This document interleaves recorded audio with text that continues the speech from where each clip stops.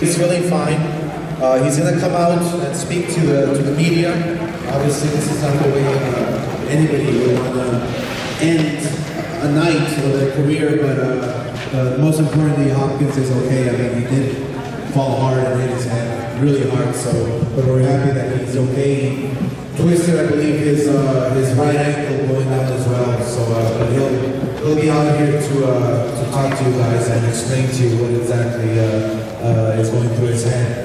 But uh, first, uh, let me just introduce to you Jojo Diaz, who did a tremendous, tremendous job tonight.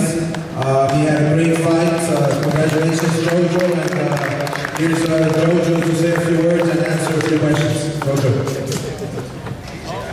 Jojo. Hello, everyone.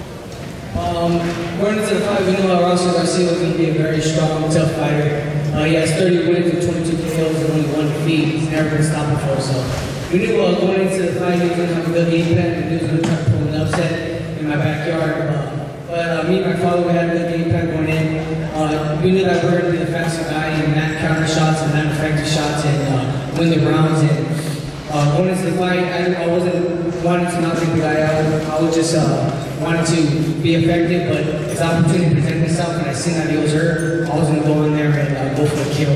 But yeah, Horacio Garcia brought his A game, gave me a very great fight, a very entertaining fight, and I'm glad I just gained all that experience. So there you have it. Another great video for ES News. For ESNewsReporting.com, I'm Elie Seckbach reporting, and you can follow me on Twitter at Seckbach. And you can follow me on Instagram at Elie Seckbach.